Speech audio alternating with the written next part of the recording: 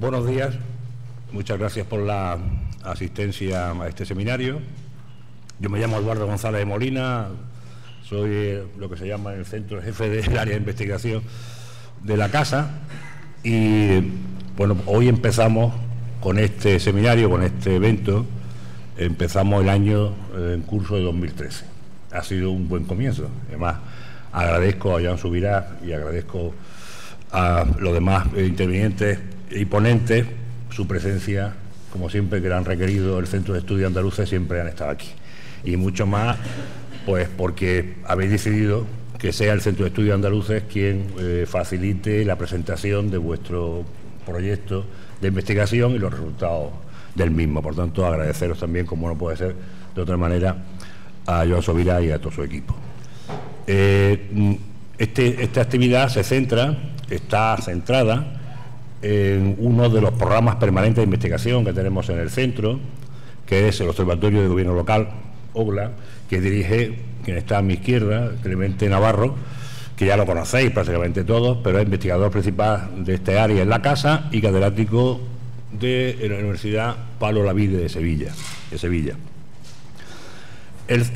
la cuestión que se trata es por tanto, es parte de ese proyecto que tenemos del Observatorio de Gobierno Local, que nos dedicamos fundamentalmente, que se dedica a este observatorio a examinar pues, y a comparar también la actividad de los 761 municipios, tanto su funcionamiento como los servicios que prestan, en ese sentido. Yo creo que uno de los programas más importantes que tiene de investigación que tiene el centro de estudios. Y esta actividad se inscribe dentro de, este, este, programa de investigación.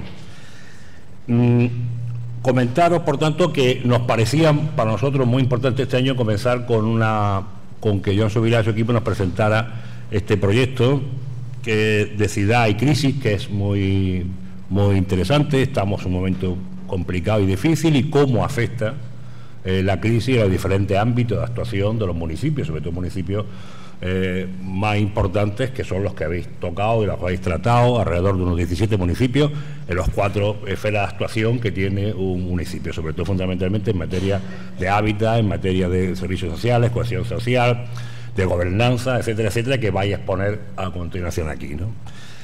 Yo no quiero extenderme mucho más porque esto es una, eh, un acto de inauguración y, sobre todo porque es un acto que lo hemos abierto, pretendemos que sea pretendíamos que sea fundamentalmente para los interesados, pero también para los especialistas que pudiéramos debatir eh, por lo que, nos, lo que nos presentáis aquí, que pudiéramos eh, no solamente escuchar eh, lo que tienen que decirnos, que será seguramente muy interesante, sino que también pudiéramos intervenir, hubiera una interrelación entre lo que nos tienen que exponer y también lo que tenemos que decir nosotros. Por tanto, dándole de nuevo las gracias a los ponentes y a ustedes los asistentes, por este sentido queda por decirlo así, de una forma, empezamos. empezamos. Y pronto eh, sube Joan Subirás para ponernos. Sí, sube. Yo mientras que sube Joan, por... ¿Sí? Nada, que mm, uno de los objetivos del Observatorio de Gobierno Local, que os acaba de contar Eduardo, es no solo difundir lo que hacemos desde la Fundación Centro de Estudios Andaluces, sino hacer posible difundir otros proyectos, otras ideas y otros resultados que se hacen en otro sitio. Entonces yo le estoy, debo decirlo, sin enrollarme, muy agradecido a Joan y al resto de compañeros del proyecto Polurban que hayan accedido a presentar estos resultados preliminares del proyecto y así cumplimos ¿no? un poco el, Observatorio de Gobierno Local como institución pública nuestra labor de difundir cosas que pasan sobre las ciudades y los pueblos en España y donde haga falta. Donde haga falta. Gracias. Muchas gracias. Eh, al Centro de Estudios Andaluces y a, Clemente por la organización de esta, de esta presentación de esta mañana. De hecho, estamos, digamos, en eh, una primera, un primer elemento a considerar es que estamos presentando un proyecto que tiene precedentes que creo que son significativos y que además está en proceso de elaboración. Por lo tanto, uh, una primer, un primer elemento clave es entender que no estamos aquí presentando una, un, trabajo acabado, sino aquello que a veces se dice un work in progress, ¿no? un trabajo que está en, en, proceso de trabajo, lo cual eh, no le quita valor ni mucho menos, pienso yo, a estas jornadas porque es al revés. Estamos precisamente eh, incorporando valor de, los, de los intervinientes, de la gente que está aquí, que nos puede ayudar también a contrastar cosas que, que quizá en nuestra propia lógica de trabajo de investigación no somos capaces de ver. Voy a explicaros muy rápidamente, eh, porque de hecho eh, lo que es importante es que luego vayamos entrando más en harina, ¿no? de qué va el proyecto. ¿no? El proyecto se llama POLURP, ¿no? que es el acrónimo de políticas, de políticas urbanas, y el título completo es Políticas urbanas en el escenario del 2015. ¿no?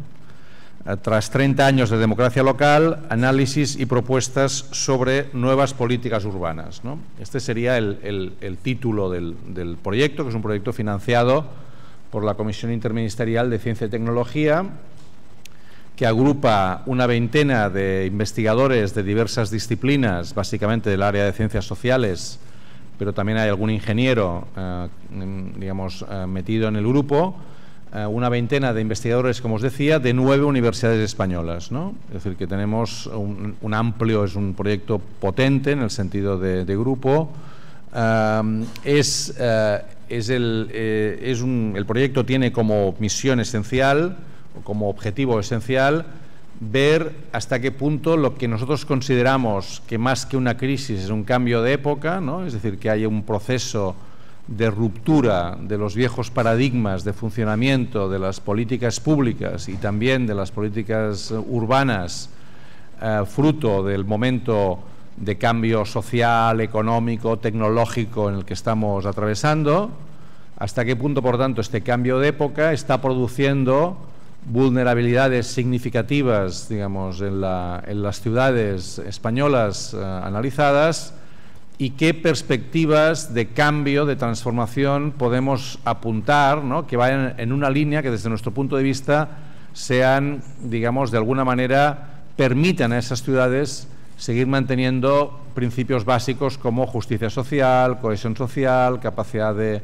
de desarrollo mm, con los límites que nos marcan los elementos de sostenibilidad, em, legitimidad democrática de sus instituciones, etcétera, etcétera. Es decir, que por tanto, el, objetivo es básicamente ese, ¿no? es decir, análisis eh, de las ciudades, de las principales ciudades españolas, mm, análisis de sus vulnerabilidades a la luz del momento de crisis y de cambio de época en el que estamos, em, miradas sobre los discursos que, las distintas ciudades están planteándose, los relatos que le llaman ahora, ¿no? sobre cómo salir, digamos, de esa situación, ¿no? y por lo tanto, ah, de alguna manera, pues ah, analizar y ver si hay elementos de continuidad, si hay elementos de persistencia de la lógica neoliberal que mucho, en muchos casos ah, se ha mantenido eh, en los últimos años, si hay procesos de cambio y en qué sentido esos procesos de cambio se dan. ¿no? El, elemento también básico es, digamos, lo que sería el universo de estudio, de trabajo, lo constituyen hasta ahora de manera, digamos, consciente, no podíamos trabajar con, con, todas las ciudades españolas, es obvio.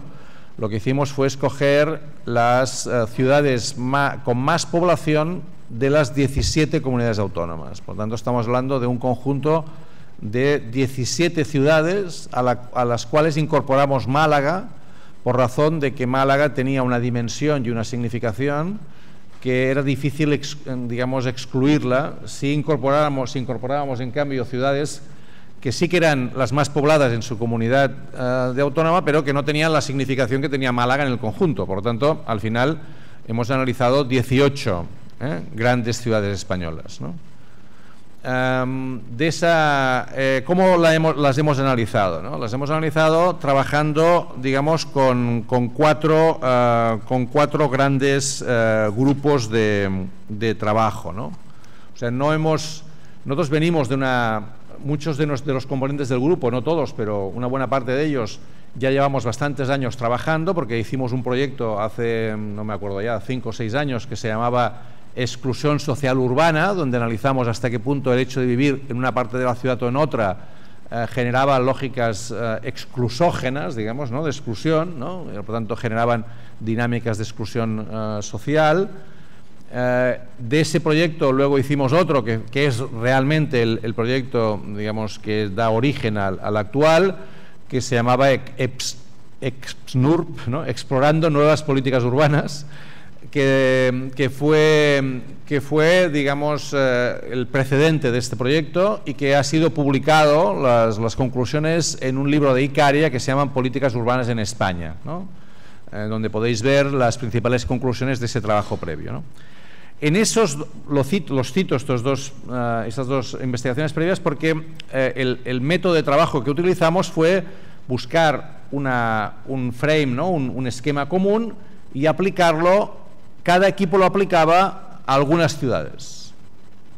En cambio, aquí hemos salido de, esa mirada más de que, por ejemplo, el equipo de Sevilla, digamos, ¿no? se, dedicara a Sevilla y a Málaga, y el equipo de Barcelona, pues a Barcelona y Palma de Mallorca, no sé por decir algo, por proximidad, sino que hemos roto este esquema y lo que hemos hecho es lo que llaman en los proyectos europeos los working package, ¿no? sea, proyectos de trabajo que son transversales, es decir, que cada grupo, cada, los cuatro grupos formados, ¿eh? el grupo que dirige Clemente Navarro desde la Universidad Pablo Lavide, el grupo que dirige Víctor Urrutia de la Universidad del País Vasco, el grupo que dirige Fernando Díaz desde la Universidad de La Rioja y el grupo que dirijo yo desde la Universidad Autónoma de Barcelona, con otras universidades, con otras personas de otras universidades que también están metidos ahí, cada uno de estos cuatro grupos trabaja un tema específico. ¿no? Por ejemplo, el grupo de, de, Clemente y de la Universidad Pablo Lavide trabajan sobre los temas de redes de gobernanza, escala y institucionalidad. Por lo tanto, todo el tema de instituciones locales, eh, metropol metropolonización de las ciudades, eh, elementos de gobernanza urbana, es decir, eh, temas eh, que se refieran a, nivel de, le de legitimidad, de recursos, de, de, digamos, niveles de abstención y participación, grado de manifestación. todo este tema lo trabaja en el grupo de, de la Universidad Pablo Lavide y lo miran en el conjunto de ciudades. Es decir, que analizan el conjunto de ciudades. El grupo que dirige Fernando Díaz, ¿no? desde la Universidad de La Rioja, a, trabaja sobre los temas de dinámicas económico-territoriales y los efectos de la globalización y, del, y de la lógica del growth machine, ¿no? de, la, de la máquina de crecimiento, que es un, paradigma explicativo bastante potente sobre el, funcionamiento de las ciudades de los últimos años en todo el mundo y también en España. Entonces, el grupo de Fernando Díaz trabaja ese, ese tema en, las, en todas las ciudades. El grupo de, de Víctor Urrutia, del País Vasco, trabajan sobre dinámica social, ciudadanía y diversidad, usando todo lo que se refiere a políticas sociales. ¿no? ¿Eh? Y, también en ese, y, el grupo que, trabajamos desde Barcelona nos dedicamos a los temas de hábitat urbano, es decir, todo lo que correspondería a, recursos, energía, agua, ocupación del suelo, capacidad de las ciudades, um, transporte, etcétera, etcétera, lo hacemos desde, eh, desde el Grupo de Barcelona también para el conjunto de las ciudades. Así estamos trabajando hasta ahora y seguiremos trabajando así. En las fases, en las fases posteriores, ahora estamos acabando, como veréis, eh, la fase de diagnóstico, ¿eh? o sea, esta primera fase, como tendrán ocasión de ir explicando en las distintas aportaciones que vamos a hacer, eh, lo, que se va, lo que estamos haciendo es un análisis a partir de unos indicadores que se van a explicar, viendo el grado de vulnerabilidad urbana de las ciudades en situaciones de crisis y cambio de época como los actuales. ¿no? Entonces, cada uno de los grupos ha trabajado desde su perspectiva, escogiendo los indicadores, ¿no? hemos, evidentemente los hemos trabajado también juntos en una reunión en Bilbao que hicimos hace unos meses, han analizado este tema y por lo tanto estaremos, como vamos a, trabajar hoy, esta tarde y mañana aquí también en Sevilla, vamos a seguir trabajando en este tema, lo que vamos a intentar es, ponernos de acuerdo ahora de qué ciudades vamos a seleccionar del conjunto de las 18 para hacer un trabajo mucho más en profundidad. Y, por lo tanto, digamos, eh, esta es la fase en la que estamos. Análisis de vulnerabilidades y, y una, una, especie de, de, estructura de ciudades, ¿no? Eh, apuntando diversos niveles de vulnerabilidad. Eh, el, objetivo, final no es solamente descriptivo, ¿eh? y aquí acaba un poco la explicación, es también prescriptivo, o sea, pretende dar de alguna manera ideas ¿no? de nuevas políticas, ¿no? de nuevas formas de hacer, de cómo algunas ciudades han encontrado, uh, y cuando digo ciudades no me refiero a ayuntamientos, me refiero a entidades, grupos, movimientos sociales, uh, o, ¿no? iniciativas que vengan desde la ciudadanía, ¿no? es decir, entendiendo lo público no igual a institucional, sino lo público como capacidad colectiva de enfrentarse a problemas comunes. Desde esta lógica, lo que vamos a intentar es también, al final del, proceso, ser capaces de dar algunas ideas que nos parecen sugerentes en el sentido de, lo que estamos analizando y proponiendo. Bueno, yo no me quiero extender más, ¿no? Ah, creo que esta, esta es un poco una mirada general que, que podría ser útil para situaros ¿no? un poco en el, en el proyecto y ahora vamos a, a, pasar ya a la, a la, primera, a la primera mesa redonda donde eh, se van a explicar ya las distintas fases y luego la haremos un descanso en la mitad ¿no? y luego una segunda mesa redonda al final. ¿no? Muchas gracias. Patricia no llegaba, por eso lo mejor es que lo hagáis tú sí. Fernando, ¿no? Sí.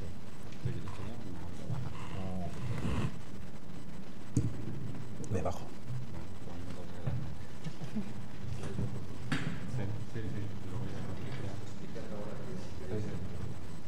Bueno, pues seguimos.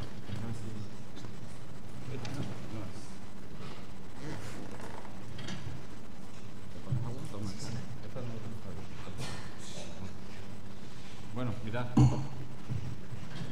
Eh, sobre la marcha vamos a hacer un pequeñito cambio, porque la persona que tenía está llegando y para no hacer esta en el que si llega que si no llega, hacemos un cambio y en esta primera parte actúa, esto no es broma que, suelo usar yo, Fernando Díaz Rueta, que es profesor de